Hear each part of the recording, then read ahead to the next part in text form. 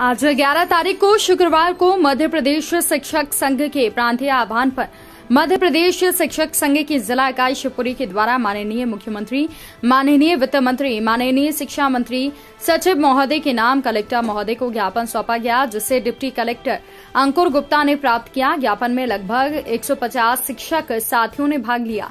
राजू बाबू आर्य, सुशील अग्रवाल, अनिल गुप्ता, पंकज भार्गव, अनिल निगम और कौशल गौतम, भूपेंद्र शर्मा, प्रहलाद दास गुप्ता, तारिक मोहम्मद राधे श्याम बंसल, संजय जैन, राजेश जैन, राजेंद्र पिपलौदा, राजकुमार सरैया, नरेश भागा मनोज शर्मा, वीरेंद्र अवस्थी, धर्मेंद्र मंडेलिया के संतोष शिवहरे, गब्बर जाटव, संजय शिवहरे, पी जैन कृष्ण राम बंसल, दीपेंद्र शर्मा, अशोक राजे, रामलाल जाटव, ललिता राजपूत, इंदु परासर और अनिता गुप्ता, रिजवाना खान, किरण जैन, रमा मौर्य, सोनू सोन प्रभा तोमर वीना गोलिया और रागनी गुर्जर ऋतु गुप्ता आदि उपस्थित थी।